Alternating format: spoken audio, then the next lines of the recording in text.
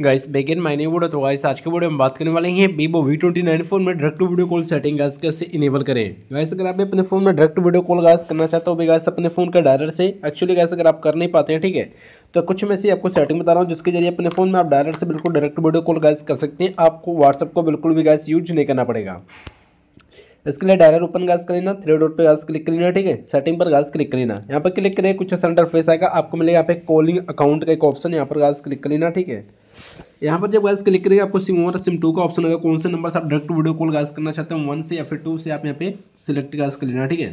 तो टू पर हमने देखिए यहाँ पर गैस फ़िलहाल क्लिक किया, ठीक है? यहाँ पर देखिए एक ऑप्शन मिलेगा थ्री नंबर में टर्न ऑन वीडियो कॉलिंग का, ठीक है? अगर आपके फ़ोन में डिसेबल है, आप इसको इनेबल गैस कर देना, ठीक है? इनेबल करके यहाँ से जब बैक आ जाएँगे, ठीक है?